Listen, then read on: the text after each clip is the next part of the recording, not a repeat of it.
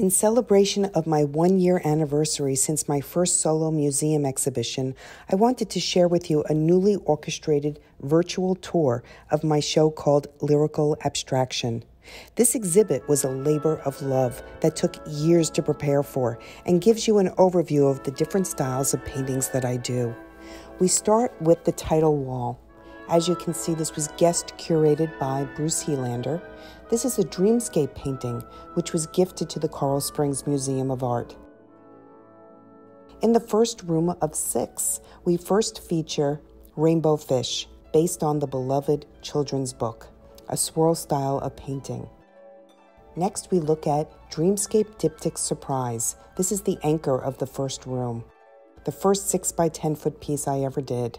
Moving on to the Ice Cube room, this is Blue Shutters, an outgrowth of the Ice Cube series, which represent a personal challenge, always shown in a dripping state. These geometric works are an early style that I continue to develop today.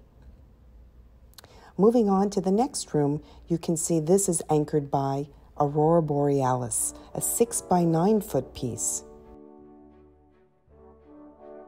Here is Elektra, based on the Marvel comic book character of the same name.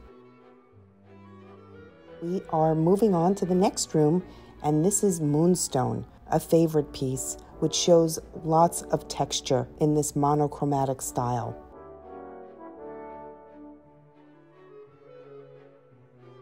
In the next room, you can see Dance of the Caterpillars and Orchid, Orchid is a very intense piece, an outgrowth of the ice cube style, which also has great texture.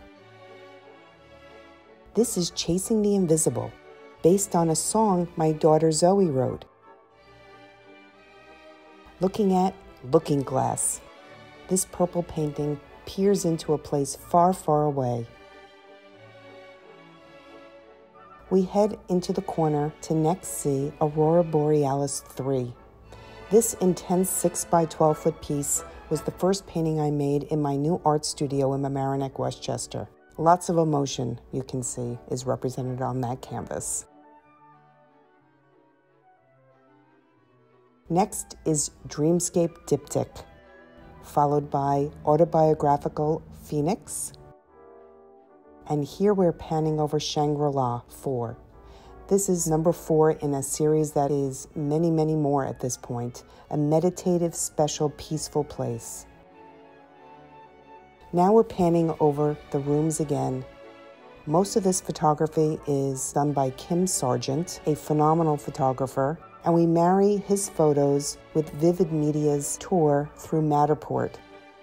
Anyone can see an individualized tour of each of these rooms and take their time looking at each of the individual paintings if you click on the link in the bio in my Instagram page.